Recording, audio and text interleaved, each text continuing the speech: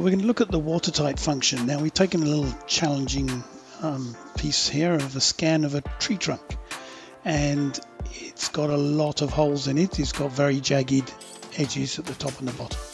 So the first thing we need to do is um, clean it up a bit. So we will basically uh, chop off the top, chop off the bottom, and then perform the watertight function on it.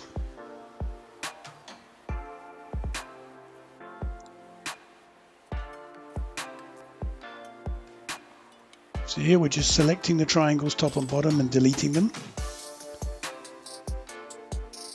And now we have an object that we want to watertight.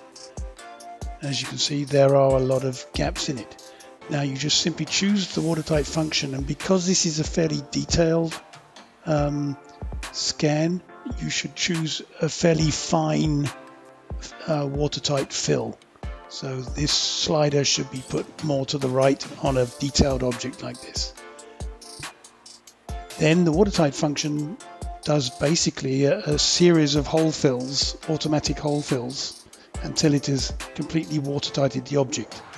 There is a downside to this because it takes the curve of the of the edge at the top and the bottom you can see that it's got a slightly bulged fill for the top and the bottom of this trunk so there is another way around this and that is to actually cut that off with the cut to plane and the cut to plane with the fill option will fill that with a flat fill. The other option would have been to use the hole function beforehand and flat fill that hole.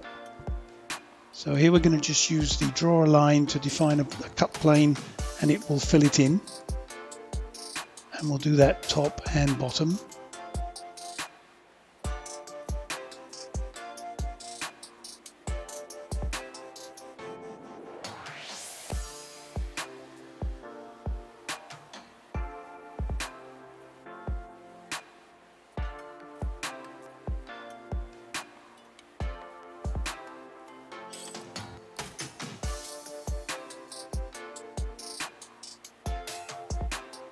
Because you've chosen the fill plane function you now have those filled with a flat fill and that can be sent to a printer.